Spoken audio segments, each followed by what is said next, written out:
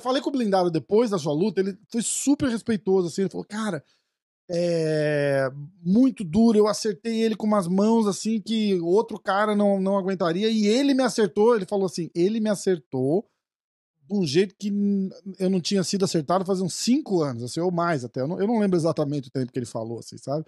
E eu lembro de eu assistindo aquela luta, cara, a gente pensava, é, a hora que você botava uma pressão assim, ele ia para trás na grade com a guarda alta, eu, eu lembro nitidamente de você parado assim, e, e, e meio que você dá uma, uma olhadinha direitinho para ver onde é que tá, assim, e o cara com a guarda alta, você vai e, e, bate por trás da guarda do cara, eu falava, caralho, cara.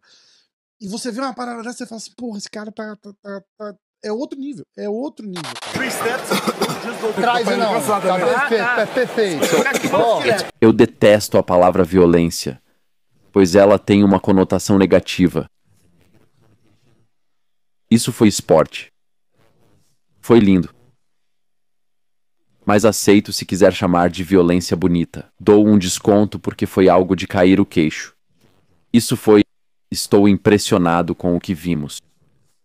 Eu tava no octógono após a luta e o Mark Goddard chegou e falou: Faço isso há 20 anos. E ele disse: O jeito que ele bate nas pessoas, o som é como nada que já ouvi antes. Ele falou: É sobrenatural. Foi isso que ele ficou repetindo. Ele dizia: é sobrenatural. Nossa, é loucura.